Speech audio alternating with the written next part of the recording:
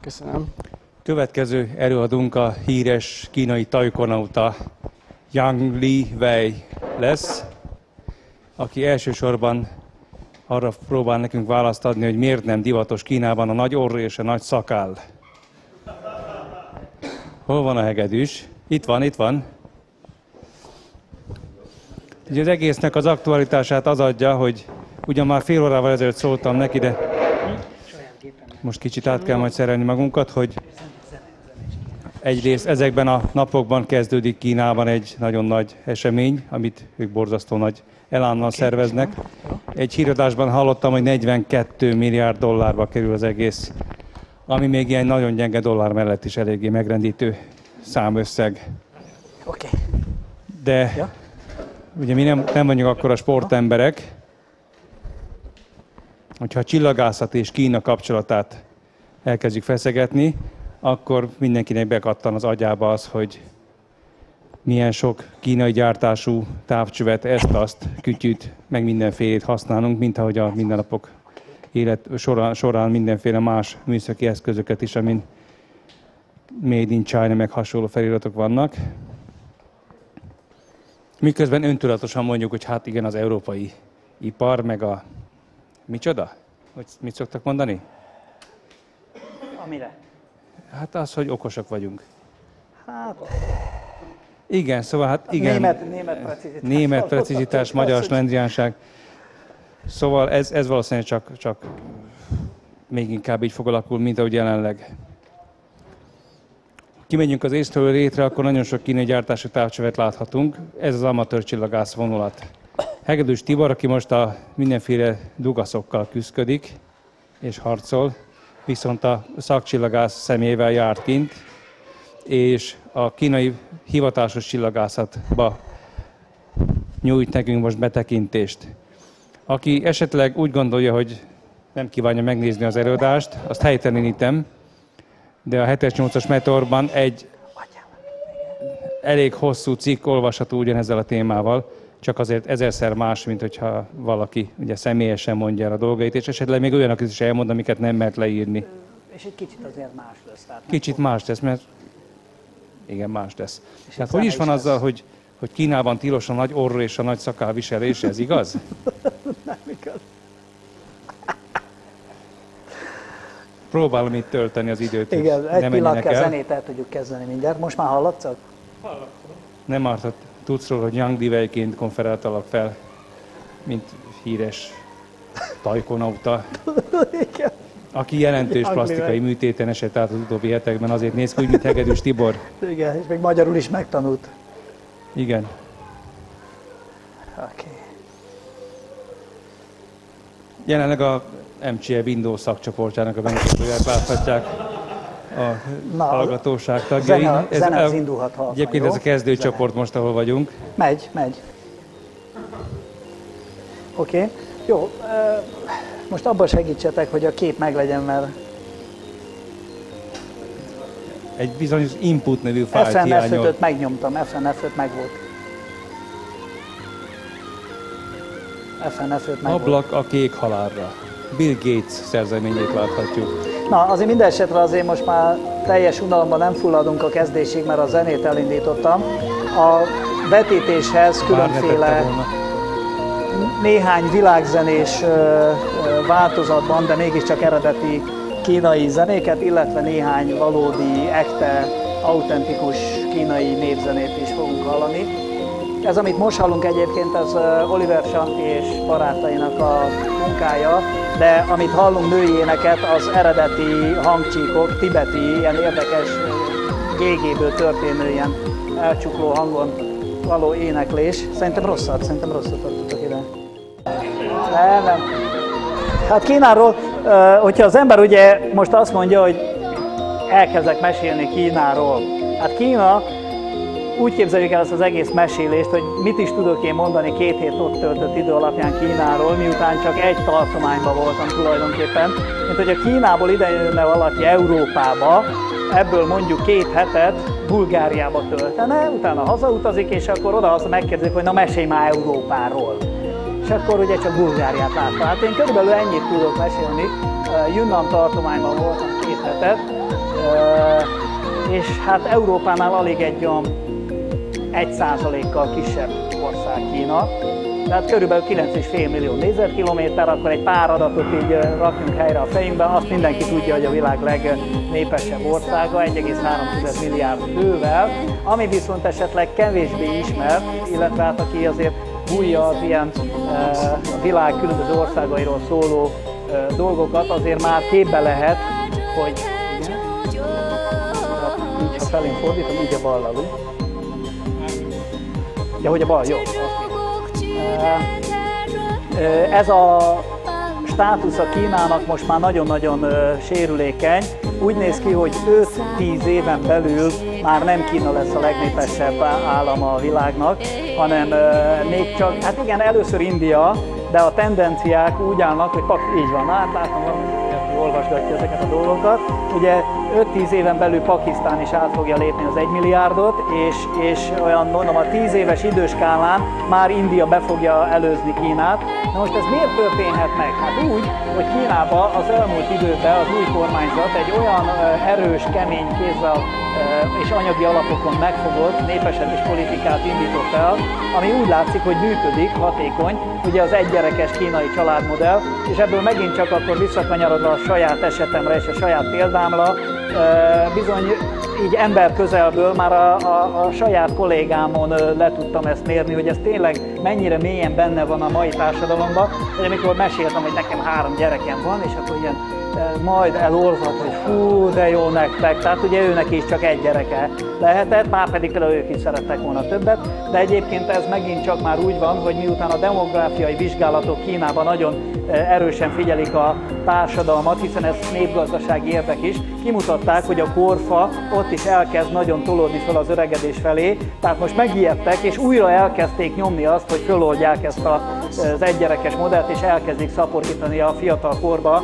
hogy jöjjön föl egy dolgozóképes olyan korosztály, aki majd úgy 15 év múlva azért, meg 20 év múlva már szaporítja majd az ország termelő állományát. Szóval nagyon érdekes dolog, és ez most csak a bevezetőben azért hoztam ezt az egészet szóba, hogy Kínával kapcsolatban egész máshogy kell gondolkoznunk mindenről. Szóval azért kezdve az érdekességeket,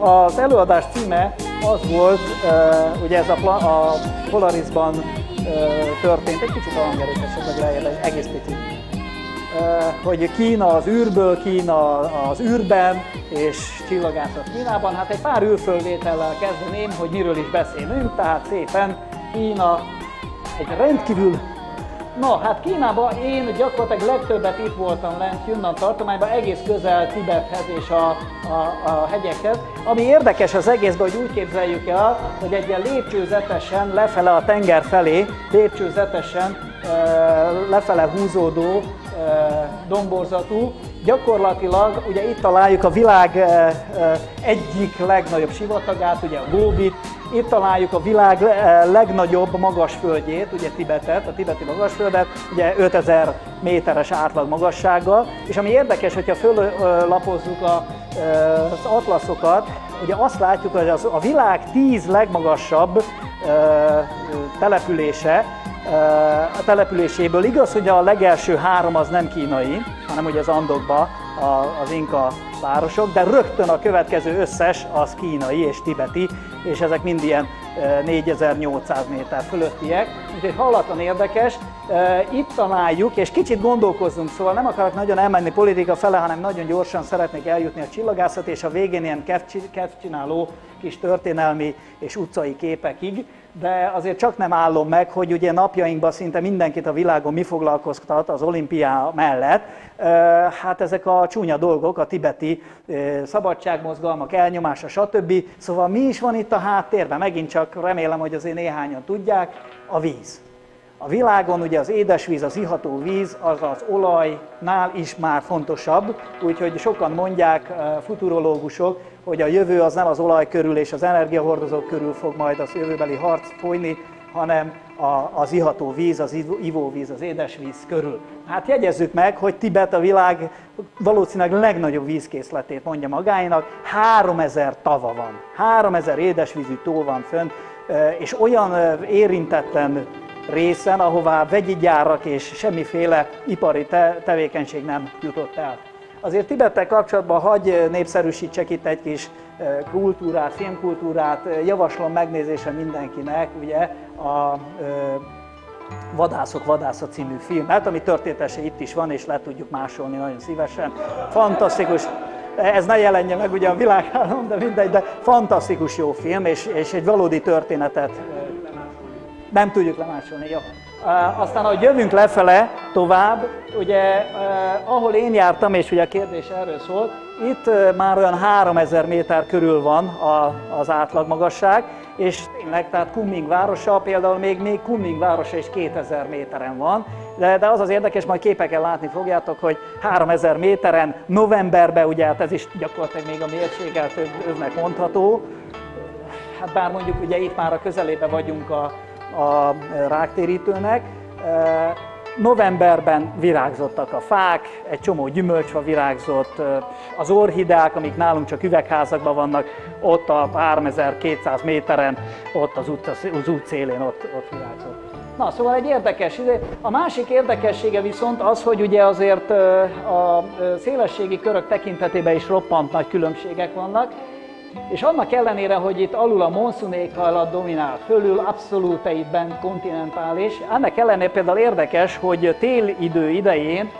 egy-egy keményebb sarkvidéki hideg légtömeg végig tud söpörni a partok mentén egész ledérre, Úgyhogy időnként néha-néha még itt lent is ilyen nulla fok közelébe is el tud jutni a hőmérséklet télen, és vice versa, a nyári melegekben sokszor itt fönt egészen az északi részeken is mérnek 34-5 fokokat, szóval ez egy nagyon furcsa ez az egész.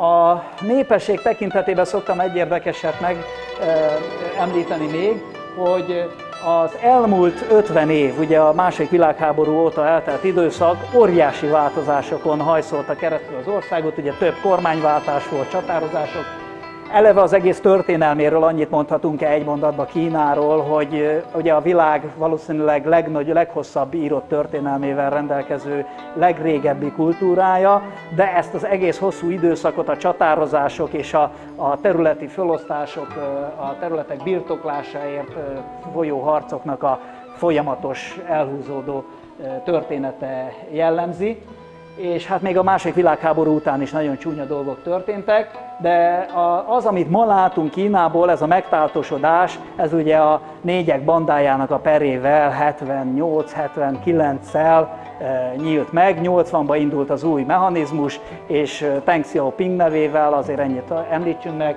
és aztán 92-ben kapott még egy hatalmas lökést a szocialista piacgazdaság nevű dolognak a bevezetésével, úgyhogy aki ma jár ki, ez mosolygott, ja jó. Úgyhogy akkor most már nézzük mindezt pörgetve képeken. Tibet közelről, itt látjuk már a tavak egy részét. Ugye itt találjuk a világ, Kínába találjuk a világ legmagasabb pontját, ugye Kína és Nepál határán a Csomolungmánt, a Mount Everestet 8848 méterrel, és egy kicsivel északabbra találjuk a világ harmadik, negyedik legmélyebb pontját is, a Turfáni mélyedést, mínusz 154-jel. Na, Szóval ilyen érdekes dolgok vannak. Itt találjuk a világ harmadik leghosszabb folyóját, amelyik egyébként csak alig 6%-kal marad el hosszában a világ leghosszabb folyójától. Úgyhogy hát az a Yangtze, ugye nevezzük nevén, a Yangtze egy részének a műholdas képét vágtam ide ki bemutatni, szóval fantasztikus, fantasztikus.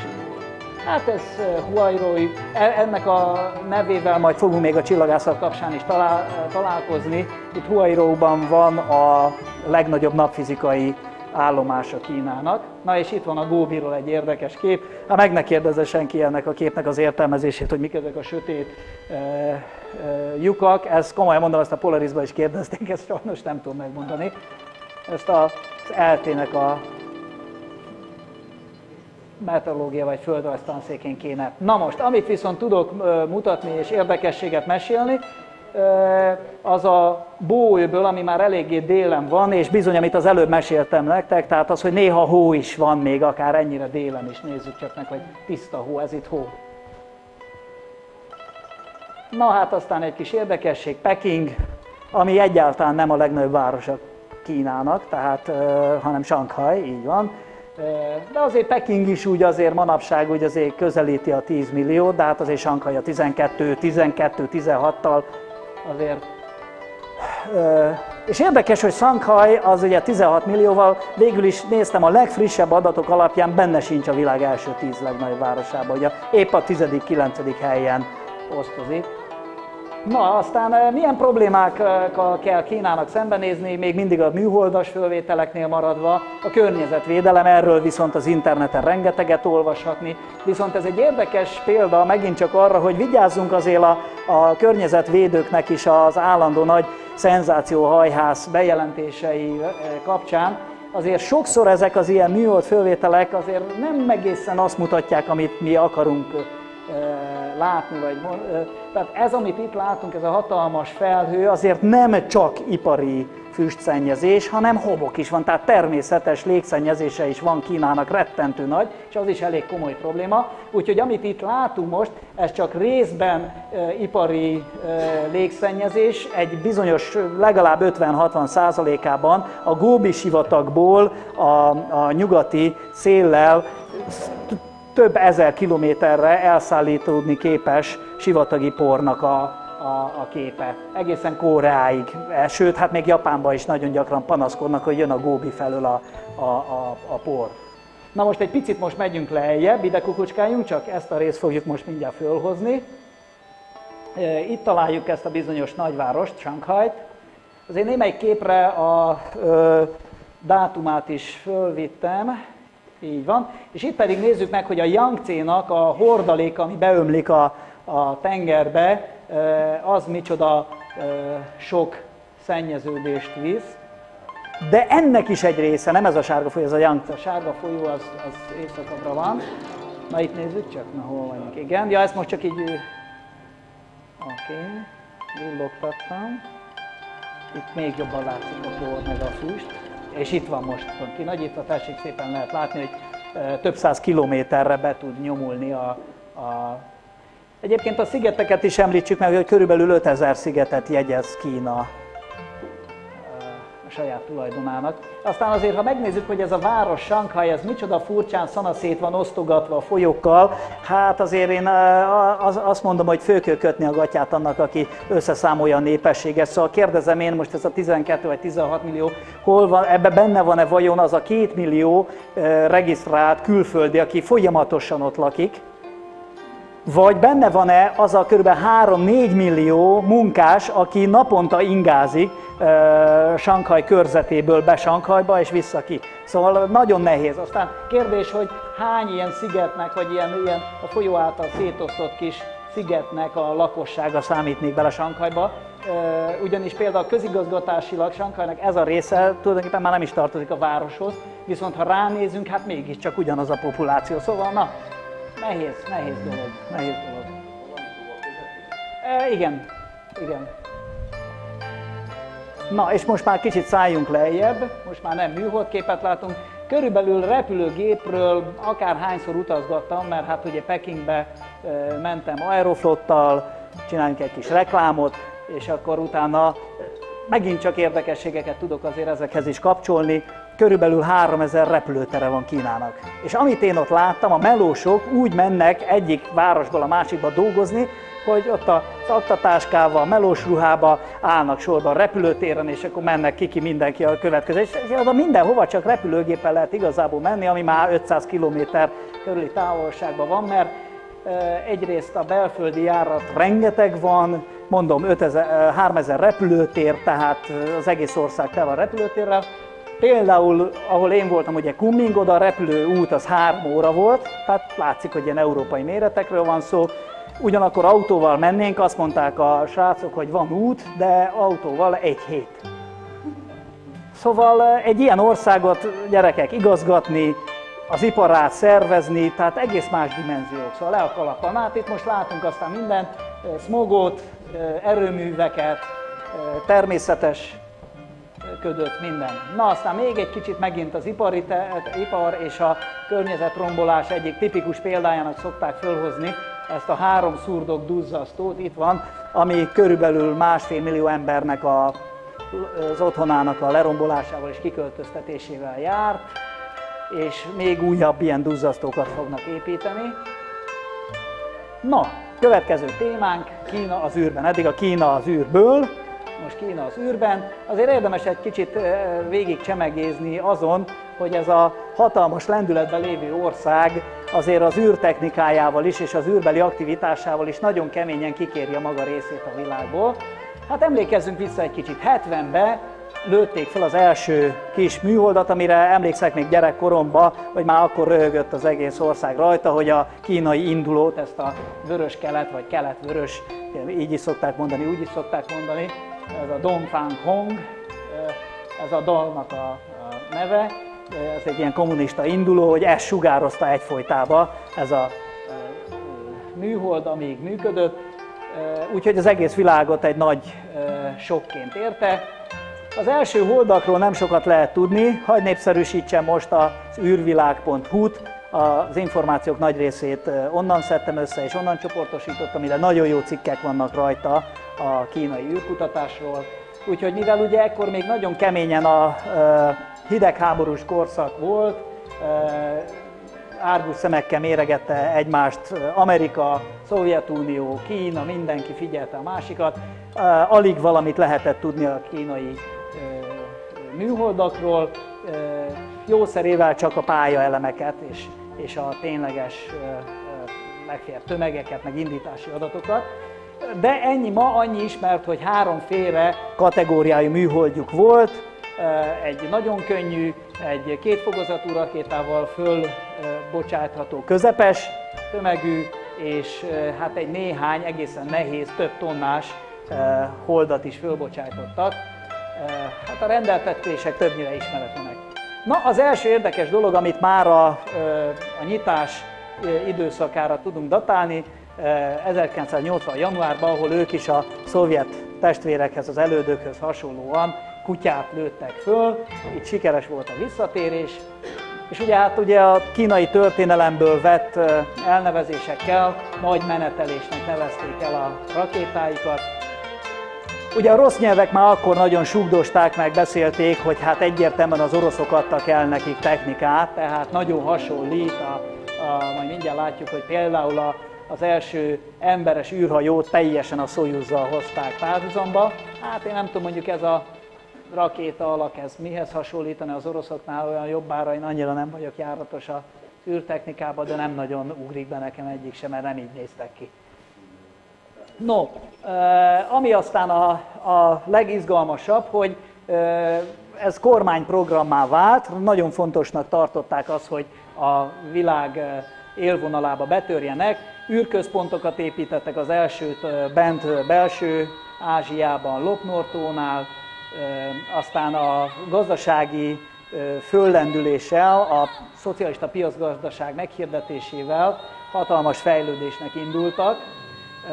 A 80-as évek végére például saját GPS rendszert építettek ki, ezt nem tudom, hogy ismert volt-e. Tehát nekik teljesen független saját GPS navigációs rendszerük volt, és az igazi lökés, mondom, 90-es évek elején indult be az új kormányzat, amikor meghirdette ezt a bizonyos szociálkapitalizmust, vagy nem tudom minek nevezzük, ott a űrkutatás, csak az űrkutatás 3000 új ipari létesítményt kapott, ez több tízezer embert jelentett, a, akik beleszálltak a, beszálltak a munkába, úgyhogy nem is véletlen, hogy gyakorlatilag egy tíz éves időszak leforgása alatt embert tudtak juttatni az űrbe. Ugye az emberes űrhajójuknak a neve Szencsó lett, ez Bérci Szaniszló barátom szereti elmondani, párhuzamba vonni, hogy a jelentése ugye ennek isteni hajó, és ugye Szent Csónak, Szent Csónak, tehát még a magyarban is van, de, de szerintem aranyos, tehát nekem ez nagyon tetszik, és valóban tehát azt jelenti, hogy egy ilyen isteni hajó, egy Szent Csónak, néhány kezdeti föllövés jelzi azokat a mérföldköveket, amikor kipróbálgatták, hogy ez hogy fog működni, ugye 99, 2000, 2002, 2002 évvégén, és gyakorlatilag eljutunk 2003. októberébe, amikor a Szentcsó 5-tel Young Vej, amit itt Attila említett is, gyakorlatilag földközi pályára tudott állni, és utána épségbe vissza is tudták hozni. Ezt megint nagyon nagy titokba játszották le, jobbára csak a nyugati világ számára a kínai televízióból lelopogatott képek váltak ismerté, illetve a hivatalos fotók. Hát a, röviden a mostani munkáról annyit, ugye, hogy elkezdtek női űrhajósokat kiképezni, a, gyakorlatilag egy évvel, szinte egész pontosan egy évvel később már két emberrel is jártak, tehát egy páros is járt az űrbe, a Szent 6-tal, és tulajdonképpen már most, ha jól ment volna nekik, a menetrend szerint ment volna minden, itt a táborban már beszélhetnénk arról, hogy már a harmadik űrhajós csapatot is föllötték, de ez nem sikerült még nekik. Valószínűleg idén őszre mondják, hogy a Szentcsóú hetessel három űrhajós fog repülni, hát majd vigyázó szemünket Kínára vessük. Na ott van az a bizonyos visszatérő modul, ami hát valóban lehet mondani, hogy egy kicsit hasonlít a Soyuzra, de hát nem olyan nagyon. Elkezdték kifejleszteni a saját űrruhájukat, tehát űrsétára is alkalmas űrruhájukat, és hát ugye a tavalyi év megint csak nagy sokja, ami megint sokként érte a világot, és teljesen titokba készítették elő, szinte csak az utolsó pillanatokban vált ismerté. A kínaiak Holdhoz, a Holdhoz szondát indítottak, a Chang'e, ugye a Holdistennőről elnevezett szondát, és nagy sikerrel teljesítették a tervet. Hát aztán mik vannak még, ugye nagyon rebesgetik, hogy a Marsra is el akarnak jutni a kínaiak, űrállomást terveznek, vitatkoznak a, a, a nyugatiak arról, hogy vajon embert is akarnak-e juttatni a Holdra. Hát egy ilyen kis összefoglaló képet tettem föl ennek a blokknak a végére, hogy állítólag az egyik ilyen nemzetközi űrkutatási szimpóziumon megjelent egy-két kínai ügynök, és például egy ilyen kínai hold űrsikló, kínai űrsikló makettet mutogattak, és akkor most azt gyanítja mindenki, hogy esetleg űrsikló fejlesztésbe is, meg egy űrsiklószerű űrjárművön is dolgoznak, de egyszerűen semmit nem lehet erről tudni. A horvai feriék próbáltak ugye interjúba kérdezgetni valamikor, akit érdekel, nézzen ennek utána, nagyon érdekes dolgok, és jókat lehet rajta mosolyogni helyenként. No, azért még egy zárásként egy érdekesség, a környezetvédelmi problémákat többször megemlítettem, és ugye emlékeztek rá, aki az olimpiára egy fél szemét, meg fél fülét úgy azért ö, ö, odafordította, az, az hallotta, hogy sok nyugati, meg amerikai sportoló azért nem akart menni Pekingbe, mert hogy a környezetvédelmi problémák miatt, hogy a légszennyezés olyan mértékű, hogy ő nem kockáztatja az egészségét, hogy két hetet ott sportoljon. Szóval a, a rengeteg problémával meg. Most az az érdekes, hogy azt kell, hogy mondjam, hogy az űrbeli környezet szennyezés is már napi aktualitás Kínába. Ha valaki nem hallott volna erről, akkor most itt egy mondatot beszéljünk róla, aki ismer engemet tudja, hogy az egyik kedvenc témám ez az űrszemét kérdés. És hát egy döbbenetes dolog, hogy 2007. januárjában egy állítólag elromlott műholdjukat, hogy ne zuhanjon le valami ember által lakott területre, hát kénytelenek voltak lelőni. És ez egy nagy űrfegyverkezési kísérlet volt, tulajdonképpen azt mondják az amerikaiak, a, a CIA, hogy ez egy ilyen erődemonstráció volt, hogy bezzeg a kínaiak le tudnak lőni egy pályán lévő műholdat.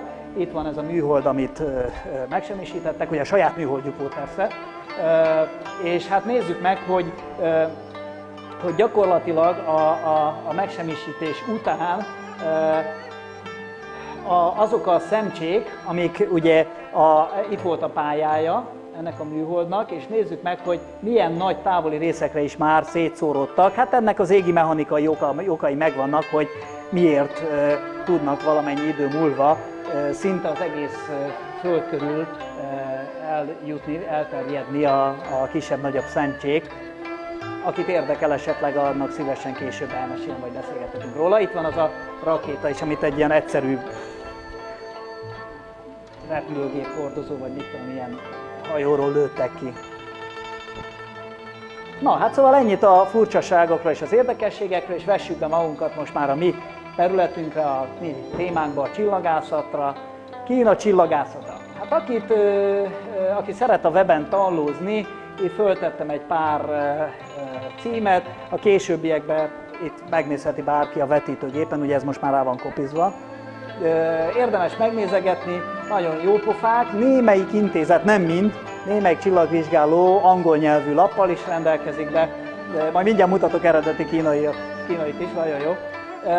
Kilenc nagy intézményük van, ennek a másfél, majdnem másfél milliárdos populációjú országnak kilenc csillagvizsgálója van. Persze ide nem számítjuk bele azokat a kis népi csillagvizsgálókat, majd egy fotót mutatok, amik csak úgy útszélén lehet látni, hogy vannak ilyenek is. Ezek a rendes nagy kutatóintézetek. Na itt van egy honlap, ez például a, ez a központi honlap, ez a Nemzeti e, Csillagvizsgáló Obszervatóriumoknak a központi honlapja. Azért nagyon sok defektustól szenvednek ezek a honlapok, szóval nagyon nehéz bennük igazi lényegi információkat összeszedni. Ha nézzünk meg egy másikat, nagyon szép, ez a Purple Mountain. Ez a 20. században alakult nagy intézményük Nancsing közelébe, ez az ő honlapjuk, Bíborhegy, Purple Mountain. Ezt a magyar szakcsillagászok is jól ismerik, és hát én itt voltam, ez a Yunnan Observatóriumnak a honlapja, erről fogok majd több képet mutatni. Na először azért beszéljünk azért a központi nagy-nagy, tehát az ő konkoly csillagvizsgálójukról. Ennek a központi obszervatóriuma Singlongban van, 950 méteres tengerszint feletti magasságban. Hát különböző méretű távcsövek vannak, a legnagyobb az 2,16 méteres, Kínába készítették, tehát az kínai távcső.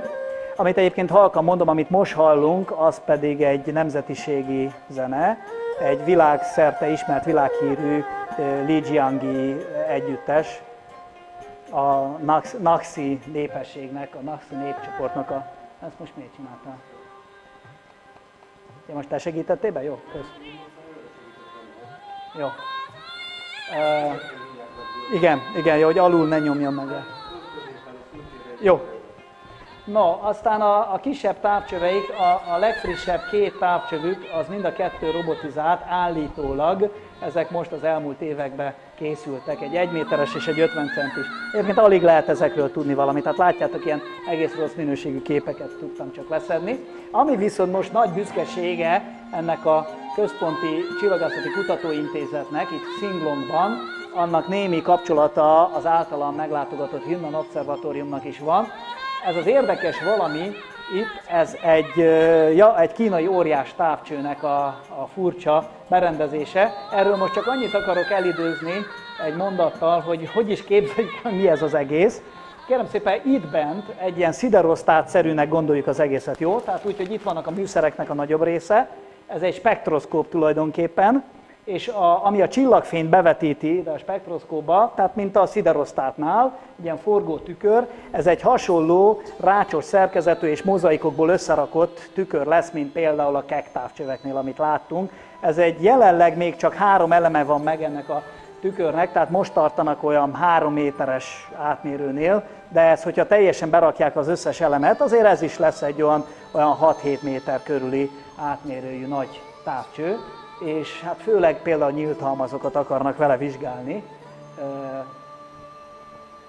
Ez szerintem egy érdekes, egy megemlítése méltó dolog. Na, amit mondtam, hogy Huawei-ba el fogunk még egyszer jönni, itt találjuk a legnagyobb napkutató központját Kínának. Ez csak 62 méteres magasságban van, de itt egy nagyon érdekes távcsövet, egy távcső komplexumot találunk, ahol hat különböző berendezés van összezsúfolva, és egy, a világon ők azt állítják legalábbis magukról, hogy a világ legegyedülállóbb olyan műszere, ami széles látószögű magnetogramot tud csinálni a napról, tehát nem csak egy kis helyi tartományba vizsgálja a mágneses terét a napnak, hanem egészen nagy területeken. Hát itt azt hiszem két képet vágtam ki a honlapukról. Nem olyan túl gyakran frissítik, tehát ez valami fél évvel ezelőtti kép ez egy hidrogén alfakép, és akkor egy ilyen magnetogramot is mutatok egy aktív területről. No, akkor menjünk tovább. Ami még említése méltó itt a Központi Csillagászati Kutatóintézetben, az egy harmadik állomás, a MIUN állomás, ahol pedig egy szintézis rádiótávcső hálózat van. Ezt aztán nagyon hét lakat alatt őrzik, szóval szinte alig lehet a honlapról valamit megtudni. Egy biztos, hogy 28 darab 9 méteres parabola antennából áll a rendszer, és főleg szupernóva maradványokat vizsgálnak, és bármiféle változékonyságot mutató rádióforrásokat. Éppen komoly munkába lévő kutató kínaiakat látunk. Azért egy érdekes dolog, igen? Elég sokat, elég sokat. Szóval én, én csak a saját területemről tudom mondani, hogy azért aktívak dolgoznak, de hát most, hogy a személyes véleményt kérdeztek, és részben akkor kicsit az Attila bevezető szavaira is vissza tudok egy kicsit utalni, Szóval érzik ők még nagyon általában a világnak, a tudományos világnak az élvonalának a az előttük járásának az érzését. Rendkívül alázatosak, és nem szégyelik azt bevallani, hogy, hogy hát még tudásban nagyon sok mindent kell elsajátítanuk, elsajátítaniuk, viszont hallatlanul erőteljesen haladnak előre, és, és szívnak befele mindenhonnan, amit lehet tudást. Hát például az optikai iparukról itt vannak ilyen távcsépítő emberek is, itt azt rebesgetik, hogy egy néhány éven belül az oroszoknak a nagy előnye az teljesen el fog tűnni az optikai ipar területén, mert manapság már a vége felé járnak a sok-sok éves oktatási ciklusnak azok a kínai optikai mérnökök, akik aztán hazatérve gyakorlatilag egy olyan végső lökést tudnak adni a kínai optikai iparnak, hogy el fog húzni még az oroszoktól is ezt mondják. Tehát mondjuk ezek a világuralmi törekvéseik tetten érhetők, de teljesen tisztában vannak az, a, azzal, hogy rá vannak utalva Európára, oroszokra, amerikaiakra, és ez jó is van így. Na, Yunnan. A Yunnan Observatórium központja Kunmingban van, ez az, amit én említettem, ugye nézzük csak meg, itt most már eléggé messze nem vagyunk délen, 25 fokos földrajzi szélességen, és ami a legviccesebb, ugye, hogy az utcákon sétál az ember, 2000 méteren van, szóval ez, ez, ez a központi épület, hát még ilyen utó-szociál hatásokat eh, mutat. Na, egy kis jópofa dolog, ez a kínai nyelvű meghívólevél, ezt kellett beadni, igen, igen, ez az egyetlen olvasható dolog itt benne. Itt a népi kínai plöcs. Egyébként eh, teljesen azt tudom mondani bárkinek, hogy napok alatt elintézhető a vízum, csak hát duplájába került, tehát mit tudom én, 12 ezer forinté másnapra megvan. Kunming, rendkívül érdekes város, nézzük csak meg a műholdképen, ilyen kellemes hegyek között, egy gyönyörű nagy tónál, a Diantónál, azt hiszem, itt most képet ebbe a képsorozatban nem mutatok, de az egyik félszigeten itt van egy nemzetiségi rezervátum. Csak nem szeretném, ha kimaradna a mondókámból, hogy Kína, mint ország, tehát ugye mondtam, hogy akkora, mint Európa, de, de mint ország gyakorlatilag a világ legheterogénebb népességű országa, 62 körül teszik a, a különböző nemzetiségi kisebbségeknek a számát. Na most persze a másik világháború után, meg még előtte is a céltudatos népírtások, meg esetleg ilyen indirekt módon történő népírtások ellátták a szerepüket, ugyanis a 62 népességből gyakorlatilag 61 10% alatt van. Úgyhogy a, a, a hán kínai azért 90 90, 92 százalék, és az összes többi osztozik, a tibeti, a nasi, a manju, a dai, meg sorolhatnám nagyon ér, jingpo, rengetegféle népesség van. Na és ezeket mind a nagyobb tartományokban legalább egy helyen a kulturális kormányzat elhatározta, hogy minden egyes tartományban a világ felé nagyon mutogatni fogják, hogy őrzik ezek a népességek a kultúrájukat, és hát nekem alkalmam volt egy ilyet megnézni, arról szerintem érdemes egy külön vetítést egyszer valamikor, akit érdekel tartani, de az már nem csillagászat. Na nézzük, közelítsünk rá, itt a repülőtér, és a csillagvizsgáló sajnos elég közel van a repülőtérhez, mindjárt látjuk, most közelítünk rá arra a területre, ugye, ott a repülőtér, itt vannak az autópályák, és itt van a csillagvizsgáló. közelítsünk tovább. Na, itt már látjuk. Arra részre figyeljünk, itt már az épületek is kivehetők. Aha, és akkor itt vagyunk. Itt van a 40 méteres rádiótávcsövük, ami az indító kép volt. Hát sajnos ezt a csillagászok még nem élvezhetik, ezt a rádiótávcsövet, mert ez a Chang'e holdszondának a vezérlésébe van befűzve. És itt a különböző kiszolgáló épületek, és azért hagy hívjam fel a figyelmet, ugye Csillagászat Nemzetközi Éve 2009, ő náluk fontosnak tartja a csillagászat, a Csillagászati Kutató Intézet vezetője azt, hogy a népszerűsítés egy méltó szerepet kapjon, ez az egész blokk itten az ismeretterjesztés szolgálja. Majd mindjárt meg is mutatom közelről, hogy hogy néz ki a bemutató csillagvizsgáló, itt van egy planetárium és egy kis muzeális rész, Na, és itt találjuk a különböző kutató obszervatóriumokat, azt majd mindjárt mutatom közelről is, de még egy nagyítást nézzünk meg, nagyon jó.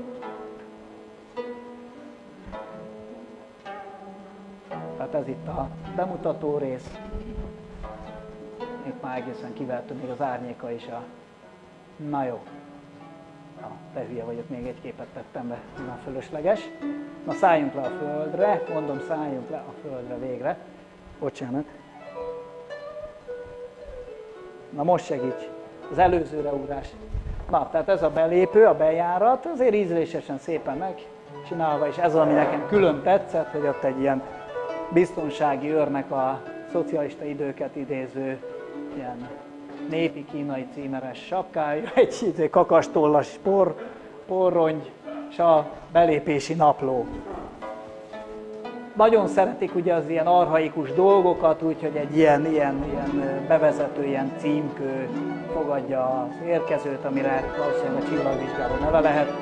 Ugye nem tudom, aki közelül itt akár két akasztott embert is láthatunk rajta, szóval nem tudom. Na, ez az első kupola, ez egy 60 cm-es keszegrény távcsőnek ad otthon. Ezt inkább nem fényképeztem le belülről, mert gyalázatos állapotban van. Most akarják automatizálni, meg átszerelni, de hát siralmas. Ja, de csináltam egy képet. Szóval ki van belezve itt alulról, semmi nincsen rajta. Viszont a kupola az így közelről kellemes képet mutat a teraszról, és itt hátul már a város látszik, Kunning itt van nagyítva. Azért látszik itt is a pollúció, tehát azért van, van, van légszennyezés itt is. Na, és ez a kupola már érdekesebb, ez rejti maga alatt a piszkés tetői egyméteres távcsőnek a e, az ikertestvérét. Tessék itt a névtáblája is. Szépen részből, csak egy kicsit összepatymogolva. És hát itt valaki volt piszkés tető, látja az egy az egybe és tessék megnézni a vezérlését, villati. De hát azért sajnos tegyük hozzá, hogy itt ezekben a napokban kapcsolták ki, amikor én ott jártam tavaly novemberben, úgyhogy ez éppen most a szemétre fog kerülni, de legalább még utoljára le tudtam fényképezni, hogy magyar vezérlés technika volt ott a távcsőnél. Hát, na, megint. Hát csak egy pillanatra akkor mert hogy... Ja, per, ja, hát 25 fok, hát érted, itt nálunk ugye ott az 47, ez 25, nagyon. Na majd mutatok mindjárt még érdekesebbet, amin látszik még jobban ez. Na ez a bemutató csillagvizsgáló, hát azt hiszem örülnénk neki bármelyikünk, hogy egy ilyen volna. Itt ezen a szinten előadótermek vannak, kiállítások, alul ö, csillagászati shop, távcsövek és fölül ugye körterasz, most megyünk közelebb és itt lent van például a Bolt, tessék, ezek a jól ismert modellek, és azért érdemes a környezetet is megnézni, még egyszer mondom, novemberben vagyunk ám kérem, 2000 méter magasan, ez a planetáriumuk.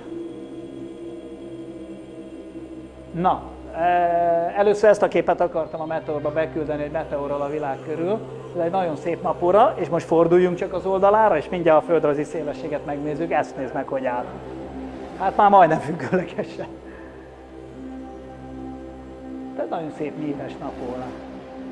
És amekkora mázliuk van, egy közelről is a sárkány motívum ugye az egyik legkedvencebb visszatérő témájuk. Itt az épület mögött meg van egy ilyen Stonehenge-szerű, ilyen oszlopos, ilyen árnyékvetős játék, ahol itt a vonalak is nagyon szépen föl vannak a nap éves.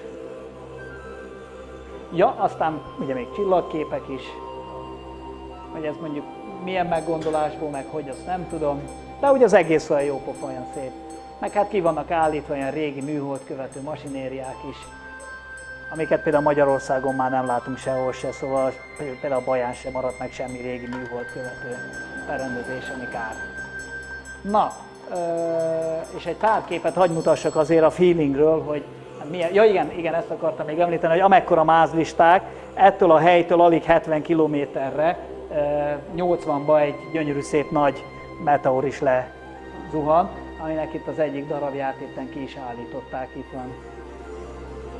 Hát ugye a kis Magyarországnak a az egész történelméből ugye egyetlen egy kis kabai meteor hullásból vannak darabjaink, úgyhogy jó volna egy ilyen.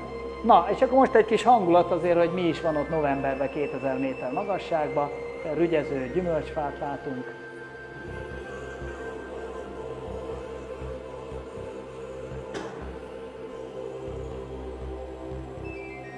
Ilyen kis arborétumként is működik ez a csillagvizsgáló természetesen.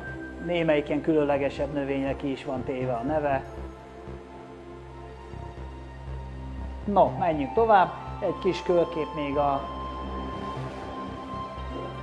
intézetről. Hát ugye, ahogy említettem, hogy repülőtér közelében van, mindig látszik, hogy ilyen leszálló gépek ott jövegetnek. Na azért, hogy egy, azt is mutassam, hogy dolgoztam azért valamit kint a pénzemért.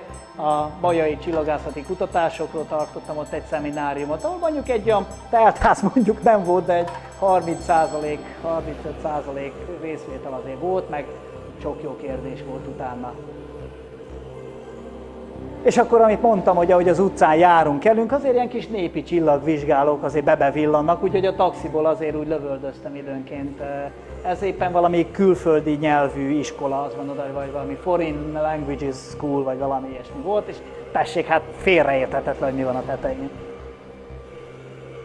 Egyébként annyit dióhéjban még, még mondjak, hogy az amatőr csillagászati élet azért Kínában elég gyerekcipőben jár, de például Kuningban, ahol voltam ebben az obszervatóriumban, ott éppen az igazgató helyettes most ezekben a napokban azt mondta, hogy 2008 elején ezen fog ügyködni, hogy elkezdje szervezni a helybeli amatőröket, valamiféle találkozót hozzon össze, a távcsővel való ellátásukon dolgozik, változó csillagészlelésekbe bekapcsolásukról gondolkozik. Na, menjünk egy kicsit izgalmasabb területre, ennek a Yunnan Obszervatóriumnak egy kicsivel keletebbre, ami egy kicsi, ugye Kínában ez legalább 600 km jelent, e, ez már az a vonulat, ez a hegyvonulat, ami Tibet fele folytatódik, tehát erre fele van Tibet, egy alig 150-200 kilométerre már Tibet határa van, tehát ez a Yunnan tartománynak a legnyugatibb része. Itt van Lijiang, ami a világörökség része lett, majd azt hiszem lesz róla kép, hogy miért is. És hát repülőgéppel szépen ide kell leszállni, ide is repülőgéppel kellett átjönni, ez egy ilyen durván egy órás repülőút volt, és akkor szépen taxival be a városba, és onnan mentünk ki terepjáróval. A szintkülönbség a városka és a csillagvizsgáló között alig 300 méter, de hát ugye ez azért van, mert itt már eleve 3000 méteren vagyunk, tehát a csillagvizsgáló 3300-on van. Na hát most látjuk ugyanezt a völgyet, ahol leszálltunk a repülőgéppel, tehát itt van a repülőtér, ennek a völgynek a valódi kép a repülőgépről. Hát ott persze mindenfele már havas hegyeket látunk, amiket ott látunk, azok ilyen négyezres hegyek. És hát itt van Yunnan éke, a Jáde Sárkány hegye, ez 5600 méteres. Itt az autópályán megyünk befele a városba, néha egyszerűen csak havas hegynek is nevezik, tehát Snow Mountain. De nincs, ja, ja, ja, ja, ezeken az utakon, de hát ez részben azért is, mert itt azért a népesség eléggé kicsi, tehát itt azért már nincs olyan nagy népsűrűség. Ugye ez nem meglepetés senkinek se, hogy Kína lakosságának a 90 valány százalék az a tengerpart menti 500 kilométeres övezetben van, és ahogy megyünk befele, nyugat felé, belső Ázsia felé rohamosan esik a népesség. Egyébként Yunnanról, bocsánat, hát nem mondtam azért egy pár adatot, ez egy ilyen Magyarországnál négyszer akkora tartomány, szinte pont négyszerese Magyarországnak, és lakosságra is pont négyszerese. Tehát egy körülbelül olyan kellemes, élhető, Kunming Budapestnél alig nagyobb, olyan 3 milliós, 4 milliós város, és nekem teljesen olyan érzésem volt, kivéve Kunming belvárosát, olyan érzésem volt, mint hogyha egy baján mászkálnék, vagy mit tudom, Kecskemét külvárosába, egészen olyan kisvárosias hangulat. De viszont el kell, hogy mondjam, belváros az messze túl tesz Budapesten, tehát az ilyen New York-szerű, igaz, hogy csak egy néhány négyzetkilométer, de hát ott a felhőkarcolók. Na, most megyünk szépen kifele a Shangri-La felé vezető úton, a csillagvizsgáló fele, ami egyébként nagyon érdekes nekem, hogy ezt mondták, hogy Shangri-La fele vezető főút, ugyanis ha valaki belelapozgat, ugye Shangri-La nem létezik. Tehát ilyen hely, hogy Shangri-La nincsen, csak valami angol romantikus regényben szereplő valami idealizált, fantasztikus, csodás terület, ahol idilli életet lehet élni, és akkor hát az egész világ epekedik a shangri után, és akkor Kínában több hely is versenyzik ezért a pozíció, hogy ő Shangri-La, ez az angol író odaálmodta meg Shangri-Lát, úgyhogy hát most aki vala, ezen az úton megy tovább a shangri fog érkezni. Én odáig nem jutottam el.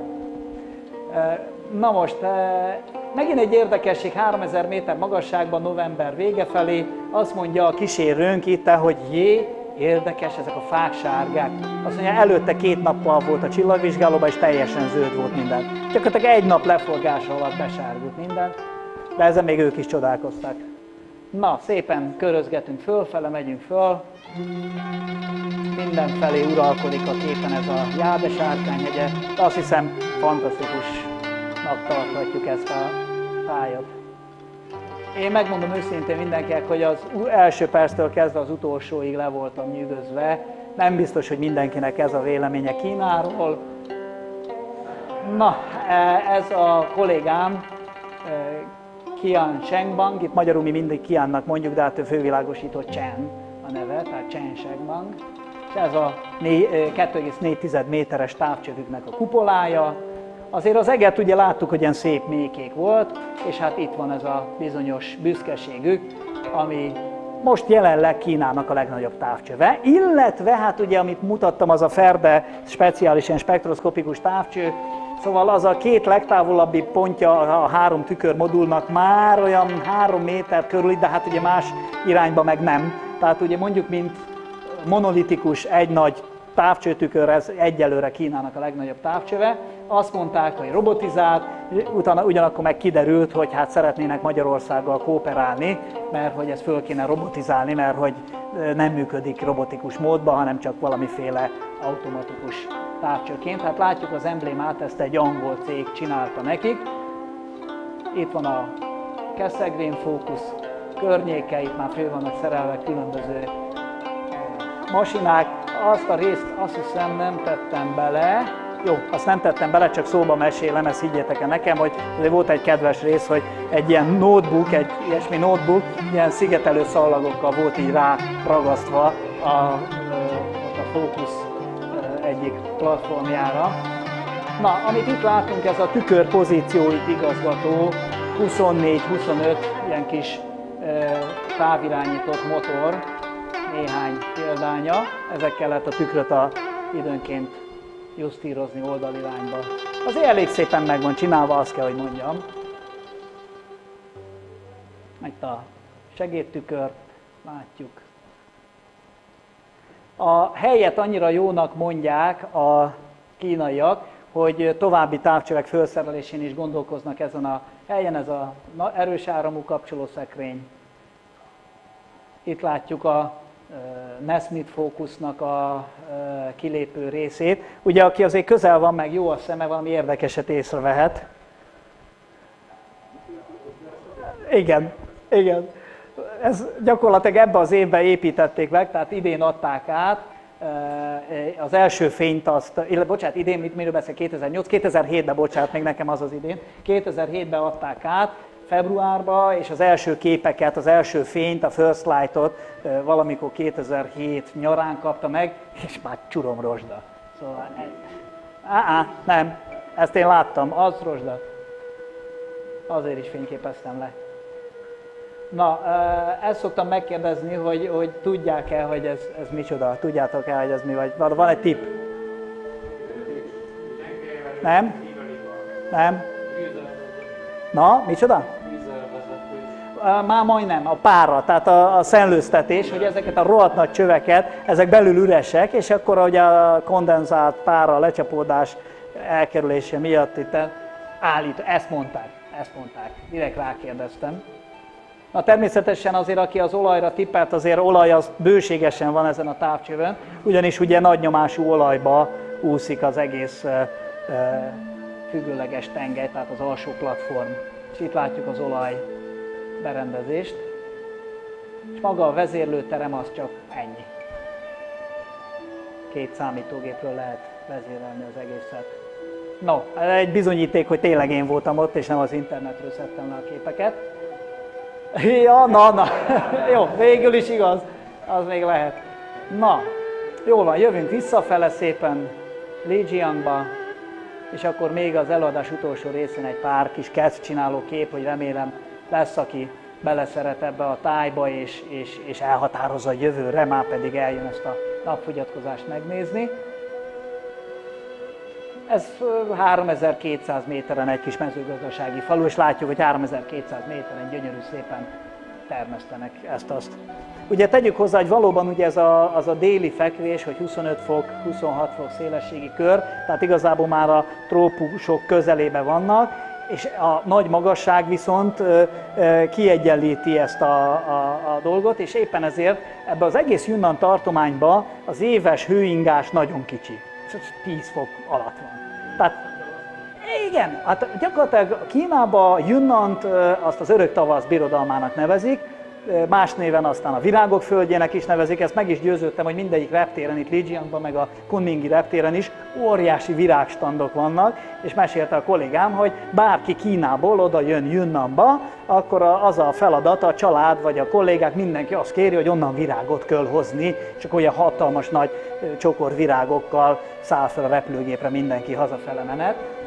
Szóval egyébként maga a szó, hogy Yunnan, az azt jelenti, hogy ködös vidék, mert hogy ugye megint csak a magas fekvés miatt, például Kunningban is szinte majdnem minden reggel azzal kezdődik, hogy ilyen ködös, párás idő van. Tetejében Kunningban ilyen nagyon szép a sétáló utcán, ilyen nagy résztáblákon ilyen érdekes kis karikatúraszerű grafikák vannak, hogy mi az a hét dolog, amire vigyázni kell az odaérkező utazónak volt. Sajnos ezt fotón nem tudom megmutatni, mert akkor merült ki az elemem is a gépben, meg a memóriakártyám is, úgyhogy és akkor az egyik ilyen dolog, amire ott figyelni kell az utazónak, hogy az, hogy jó az idő, az soha nem jelenti azt, hogy két perc múlva is jó lesz, illetve térbelileg is, hogyha átmész az utca túloldalára, könnyen lehet ott, hogy ott meg esik az eső. Tehát ilyen rövid skálán is, szinte ilyen utca hossznyi skálán is van az, hogy itt süt a nap, átmész a túloldalra, ott meg esik az eső, de szóval haláli jó dolgok vannak, nagyon érdekes az egész. Szóval sikerült beleprafálnom, talán úgy néz ki Kína egyik legérdekesebb, izgalmasabb klímájú tartományába. Ez a távcső erkéjéről fotóztam fel objektívvel, hogy ottan dolgozgatnak a legények. Na megyünk akkor most már végképp visszafelé. Egy, elhagytuk a kupolát. Hát itt meséltek ezek a gyerekek mindent, hogy lesz 4 méteres távcső, 6 méteres távcső, kijelölték már a helyét a 10 méteres távcsőnek.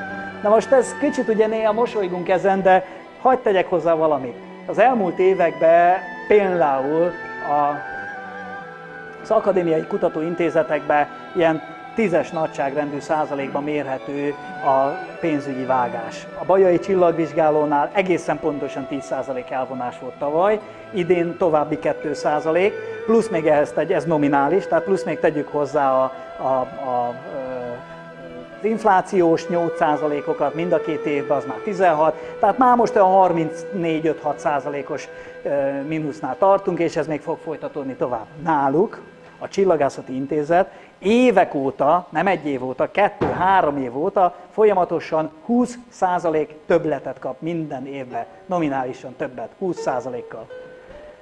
Hát ezek után ne csodálkozzunk, hogy szövegetik a 10 méteres távcsövekről a terveiket, úgyhogy ez az, ami miatt én azt mondtam, és a Meteoros cikkbe egy kicsit ki is fakadtam, meg a polariszos előadásnak ugye a bevezetének a végén, hogy mi miért nem vagyunk ott Kínába. Tehát miért nem nyüzsgünk, miért nem vagyunk jelen egy olyan országban csillagászati szinten is, akik még igénylik a segítséget, a támogatást, és nagyon hálásak lesznek később, amikor már annyira topon lesznek, hogy akkor persze már majd akarunk oda menni, meg akarunk részt venni a projektjeikbe, csak akkor már ők nem biztos, hogy fogják akarni, hogy mi benne legyünk.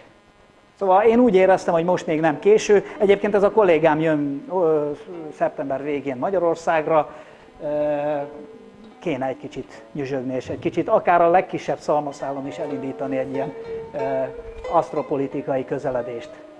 Na ez a főtere itt a csillagvizsgálónak, el nem tudom képzelni, hogy ez mi, talán víztorony, vagy valami, azt nem mondhatom, hogy valami ö, vallási izé, mert ugye ezt is tegyük hozzá, hogy a Kína népességének 98%-a ateista. Ezt is 50 év alatt sikerült elintézniük, de le tudtam fényképezni egy-két imádkozó kínait, azért a vallás is azért kezdett helyre rázódni. Egy kis vidám társaság a csillagvizsgálóval. Nagyon jó kedvű banda, szóval én nagyon barátságosak. Az ott egy meteorológiai ilyen felhő, felhőradar, ezt a kocsiból egy ilyen bivajt legeltető bácsika.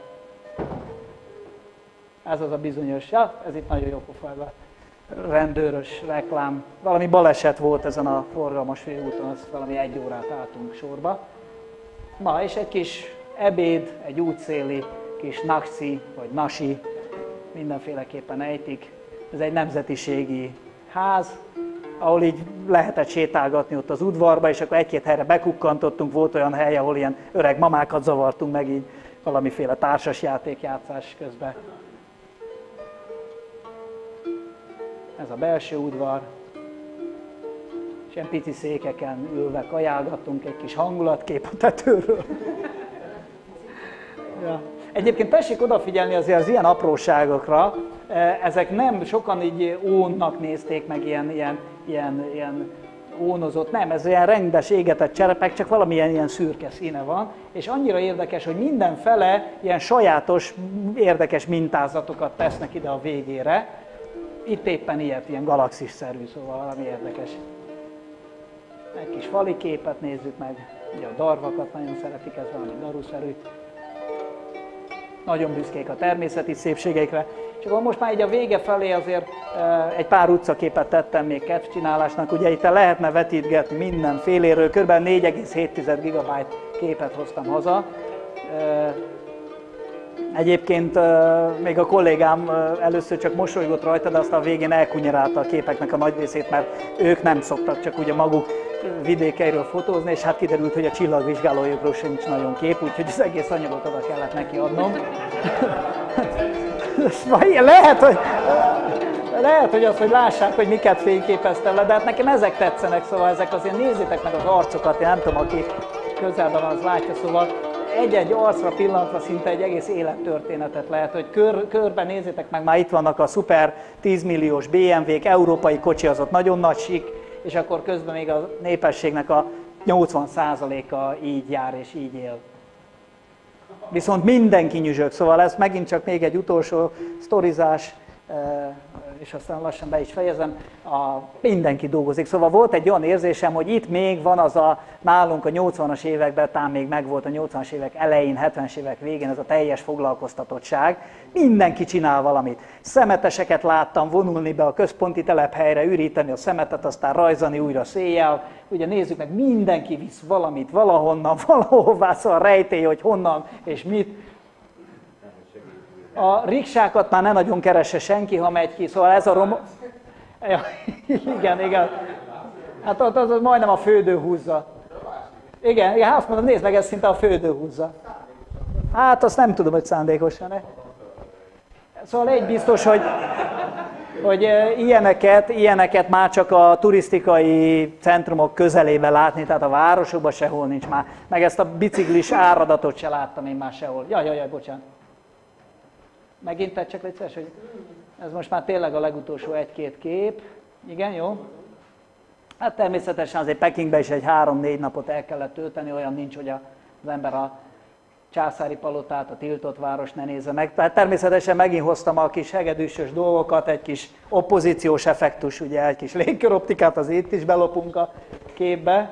Ez egy kora reggeli belépésünk volt a turista csoport alatt, hozzácsapódtam minden nap valakikhez, és akkor így néztem meg ezeket a helyeket, és ugye kora reggel ízében észrevettem ott a kövön, hogy nagyon szépen jön ez a, az opozíciós effektus, tehát hogy kifényesedik a, az antiszoláris pont körül. És hát ezek a megunhatatlan mindenféle variációban, ilyen égetett cserepek, bikafejek, fantasztikus. Meg hát ugye azért az a szimbólum is érdekes, hogy itt is előjön, az nem csak Egyiptom. De, de, de, de, de érted? Ja, igen. Kikerüli a bikafejet, igen.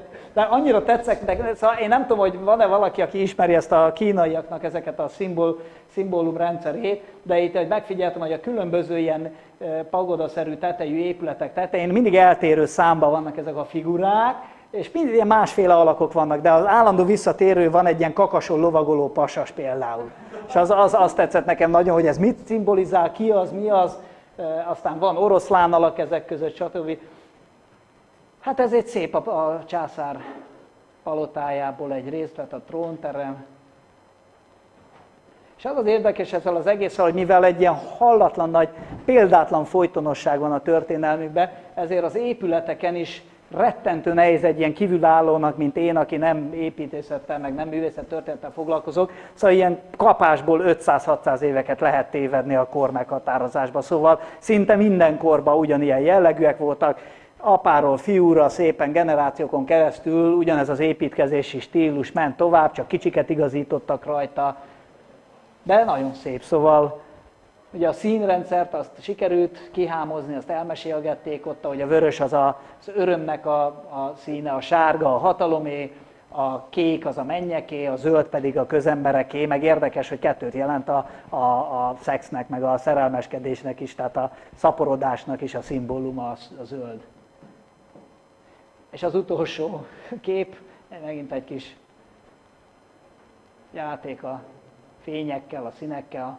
Ez a badalingi nagyfal szakaszhoz menő ilyen kis ilyen ülő, ülő, minek nevezük, ilyen ülő lift, vagy ez egy jó játék volt, és hát itt vagyunk fönt a nagyfalnál. Szóval az ember azt gondolná, hogy, hogy ez már unásig elcsépelt dolog, szóval eleve rossz indulatú érzésekkel mentem oda, hogy ez, most le is köpöm magamat, amiért most ide megyek én is 510 millió modiként most megnézni, de azt kell, hogy mondjam, nem. Szóval egyszer az ember teljesen elvarázsolódik, és annyira a hatása alá kerül, hogy tényleg el kell menni oda, és, és menjetek el, és nézzétek meg. Na most valóban az Attila azt mondta, hogy említsen meg, hogy azért vannak magyar szervezések már is. Mi egy kis csoporttal szeretnénk menni, úgyhogy azt nem nagyon akarnám népszerűsíteni, de körülbelül, hogy a pénztárcát ki hogyan készítse, azért hozzá kell tennem, hogy körülbelül egy két hét Kínába azért 500 ezer forintot tessék félretenni rá, mert azért egy 200 ezerbe a repülőjegy kapásból benne van, és akkor szállás, kaja, azért helyek, helyben az ember csak megnéz egy-két dolgot, azért egy 300 ezer még, még köl, úgyhogy egy olyan 500 ezerbe kell gondolkozni. Úgyhogy tényleg köszönöm akkor a figyelmet, és akkor ha bárkinek kérdése lesz, szerintem nem most, mert ugye az idő eltelt, és még vacsoráig bele kéne férni még egy valakinek, akkor inkább később. Zenei ügybe tavaly vagy tavaly előtt, amikor tartottam azt hiszem Szíriáról előadást, akkor is volt érdeklődő, aki szeretne eredeti kínai langzenét, meg mindenféle ilyen autentikus zenéket, amiket hoztam, nagyon szívesen másolok, ezt most megint már ki kellett volna kapcsolni, tehát MP, MP3-ba, audióba, amiben gondoljátok, és tényleg ajánlom azt a filmet, mert fantasztikus jó az a vadászok vadásza. Jó, na, köszönöm szépen tényleg a figyelmet.